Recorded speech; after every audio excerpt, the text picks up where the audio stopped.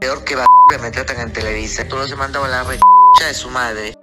Siguen saliendo más audios por parte de Laura Bozo y Chisme No Like son los encargados de sacarlos a la luz. Esta vez en esos audios, ella dice que ojalá tuviera el privilegio de regresar a Telemundo. Ojalá que pudiera regresar a Telemundo. Entro de rodillas a la Virgen de Guadalupe. Otra de las cosas que diría fue cuando mencionó a Damari, y de verdad que desconozco qué estaba hablando en ese momento, pero sí comentó que hay que buscar a mujeres que representen, no a Damari, que por haber pasado por tanto, quiere que la gente le tenga es compasión. Gente que represente a los migrantes, pero no la niña de siempre, la Mari, tuvo Además de esto, dijo que ella también ha pasado por muchas cosas en esta vida, ha tenido sus malos momentos, pero eso no es excusa para dar compasión por los eventos que ha tenido que vivir. Por eso Laura asegura que ella es una mujer muy fuerte. Yo estuve muerto, tuve cáncer, me dejaron y no me voy a tengo la bandera del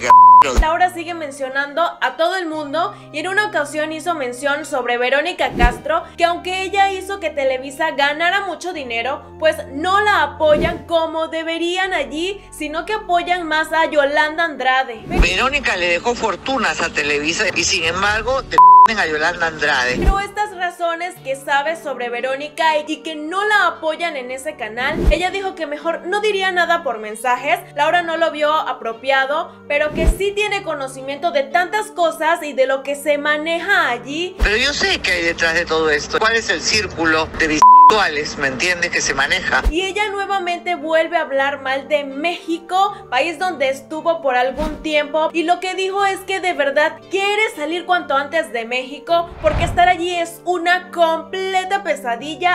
Así mismo lo dijo Laura. La verdad es una verdadera pesadilla vivir acá. Es una verdadera pesadilla. Por estos Laura es muy señalada por sus palabras, de la manera en que se expresa hacia un país. En estos audios, Laura habla de todos, de personas que la apoyaron y de otras más. Como hemos venido escuchando en los audios, Laura Bozo estaba inconforme con Televisa, con Pepe Bastón, Eva Longoria, Verónica Castro y hasta con la conductora Yolanda Andrade. Sin embargo, tenía que lidiar y sobrellevar con estos sentimientos hacia ellos porque debía trabajar, ese era su fin y ganar audiencia porque si no, la podían sacar cuanto antes. Bueno, ya sabemos lo de los audios y parece que hay más, pero los presentadores de Chisme No Like informaron que debido a la forma como que se escucha hablar a Laura en las grabaciones, recibieron una llamada de atención por parte de Cristian Suárez, quien era pareja de Bozo, y él haría esto para evitar que siguieran sacando a la luz estas grabaciones. Si Laura Bozo creía que tenía todas las de ganar, luego de la última decisión del juez donde quitaron la orden de privarla de libertad, pues con estos audios se ha ganado el señalamiento de muchas personas, aunque ella aún no ha salido para aclarar lo de los audios por si acaso llegaran a no ser ciertos. Si te gustó el video dale like, suscríbete a nuestro canal, activa la campanita para que te lleguen todas nuestras notificaciones y síguenos en la red social de Facebook. Esto ha sido todo por hoy en Famous Clouds Up. Gracias por haber llegado y acompañarme hasta el final. Nos vemos en un próximo video.